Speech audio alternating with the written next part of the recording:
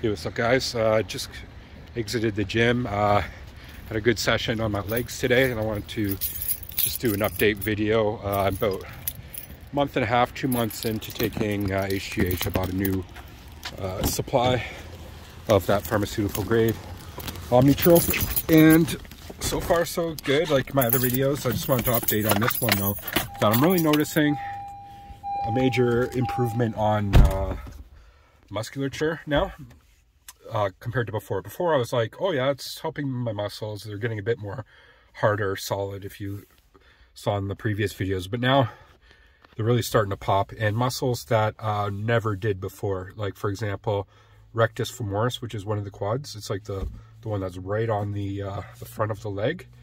That is like defining in itself right now. Never had that before. Like I could feel it if I palpated it. A massage therapist, so I know how to do that. Uh, but now, and I know the human body very well, but now it's like I can literally see it. The other thing is uh, my lats are, are fucking going really well. And that's largely to do because I'm training them as hard as well, but it's also, I think, due to this as well. And uh, some guys who I work with, uh, they were even mentioning, they're like, Mark, your, because they're all, they're all like, uh, weight, weight train a lot, and they're like, Mark, your lats are fucking getting huge, bro that they know that uh, what I'm doing. I told them all about it. And um, the other thing, which is pretty well a first for me, like when I was a bit skinnier, you could kind of maybe see them, but now they're really starting to pop, uh, is the uh, serratus anterior, which is like, sometimes they get confused for the ribs because they kind of have that fan pattern, but uh, it's a muscle on the front of the ribs there. And uh, that, you see them a lot with fighters.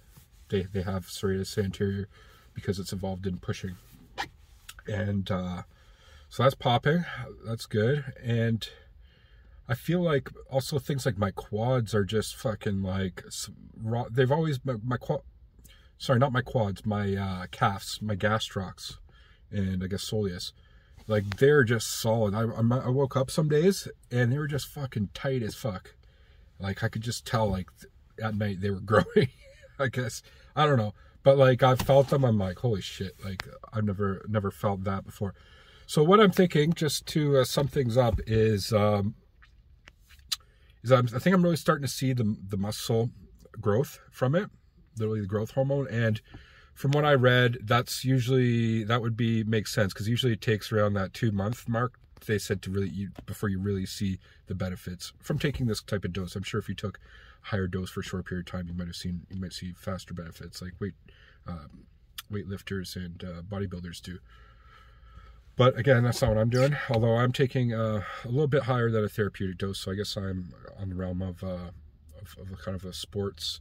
I'm, I'm doing it for sports rehab, but as well for getting benefits. And the way I see it, the more I strengthen and build up my shit now just a little bit, like I don't, don't, I don't want to get huge. Like I'm already got a decent frame and, and, and muscle, to be honest. I can put on muscle without HGH, no problem. Uh, it's nice to have it. It's nice to have the recovery uh, from it. Like I've done, some days I've done like leg days, like two, three day times in a row and my legs are fine.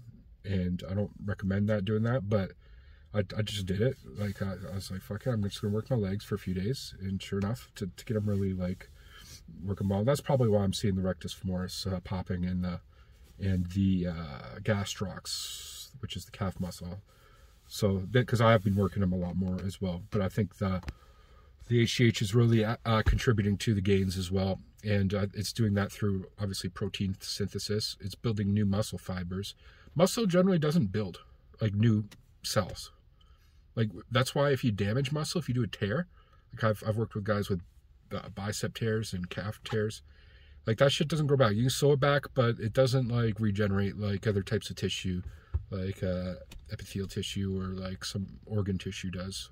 You know what I mean? Really quickly, like the skin grows can can heal itself. Obviously, has a scar, but it, it regenerates really well.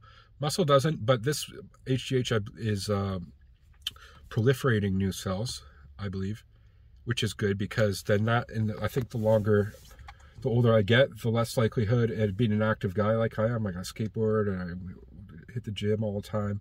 And, you know, even something unforeseen like uh, falling downstairs or car accident or something, you know, having a little bit more strength is a good thing when you're older, right? Because you can really hurt yourself.